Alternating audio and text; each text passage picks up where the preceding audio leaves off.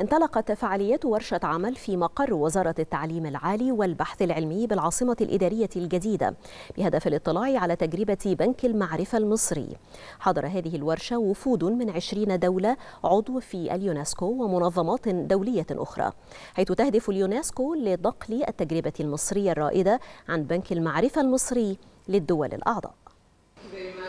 بحضور وفود 20 دولة من أعضاء منظمة اليونسكو انطلقت فعاليات ورشة عمل مشتركة بمقر وزارة التعليم العالي والبحث العلمي بالعاصمة الإدارية الجديدة وذلك للاطلاع على تجربة بنك المعرفة المصري وتبادل الخبرات بين الجانبين. بنك المعرفة بيستضيف أكثر من 43 عضو ممثلين ل 20 دولة من أوروبا وآسيا وأفريقيا والدول العربية. علشان يشاهدوا على أرض الواقع من خلال التجربة بتاعت بنك المعرفة.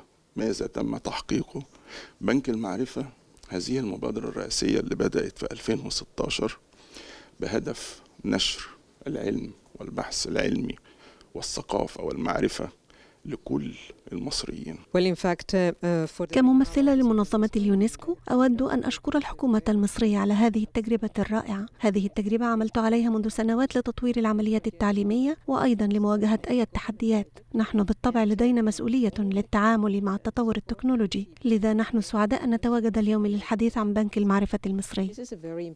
الورشة انطلقت وسط إشادات بمبادرة بنك المعرفة المصري والذي يوفر الوصول إلى أكثر من 100 مليون مادة معرفية من أكثر من ألف دار نشر دولية وإقليمية ومحلية بما يساهم في الارتقاء بتصنيف الجامعات والمراكز البحثية على المستوى الدولي.